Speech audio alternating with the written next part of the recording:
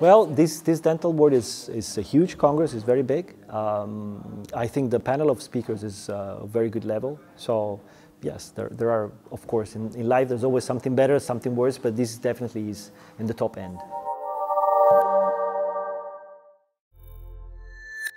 Uh, this is not my first time in Budapest. I've been here probably three or four times. I love the city. I loved it even this time. And uh, my boy Janos Gross yesterday was so nice. He was my uh, guide here in Budapest. We had a very nice dinner and a glass of something after that. It was, it was, a, it was a very nice experience, yeah. The lecture was about a, a workflow for anterior restorations.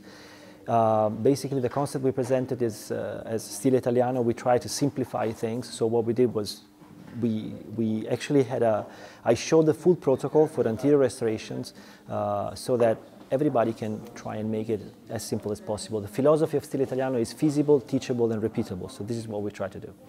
And regarding the workshop, we did the same thing, but we also worked. So I did a demonstration together with Dr. Gross, and then the participants did the same thing. And finally, we also did posterior. We thought it could be helpful to also mention something about posterior, and this is why we're so late, because we, we did a lot of things. Dentist is always, has always a big challenge, that is to try and do aesthetic restorations. We generally have not all that time.